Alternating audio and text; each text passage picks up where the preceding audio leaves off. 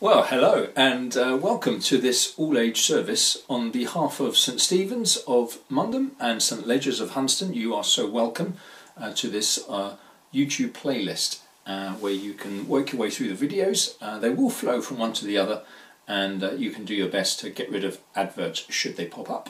but welcome. You know, we've been going through, for the last six months, I've been going through the I am statements from Jesus. And, uh, and we've thought about these various statements where Jesus is helping us to get to know him, to get to know his attributes and his character through using everyday things that the people of the Bible times uh, would really grasp and understand. And most of them we can understand too. Uh, and I've been trying to help us do that. So we thought about Jesus saying when he said, I am the good shepherd, and thought about Psalm 23 as well, the Lord is my shepherd. We thought about Jesus being the gate and the door for the sheep. Thought about him being the way, the truth, and the life. Uh, last month we thought about him being the true vine, and we're the branches. We thought about him being the bread of life, and then the light of the world. Now, this uh, month, today, we're looking at the last one of the seven, and it's where Jesus says, I am the resurrection and the life.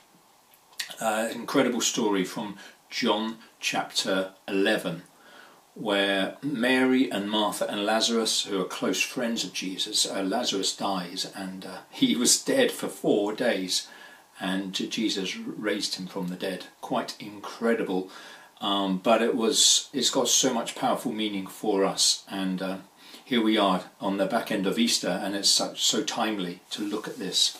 Uh, if you've got children in the house, you may be interested in having one of these fun children's worksheets, uh, which are all about where Jesus raises Lazarus, all from John chapter 11. And so there's a word search on the front, uh, there's a multiple choice puzzle, and there's a colouring page, and then there's a crossword puzzle, as I say, all based on Jesus being the resurrection and the life. Let me pray, and then we'll press on with the rest of the playlist. Father God, thank you for sending Jesus to this earth uh, that first Christmas. and uh, we thank you that as he lived this time on earth, he compared himself to ordinary, everyday things for us, ordinary people, to be able to understand who he is and his characteristics, his attributes.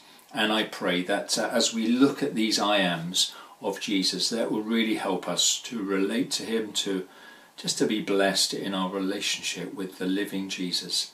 So, as we think about Him being this resurrection and the life, oh Lord, may our hearts be open to receive that invitation for each of us. We ask this in His precious name. Amen. Amen. So, we're going to have a reading and songs, and uh, very soon there'll be uh, my message uh, and talk about Jesus the resurrection.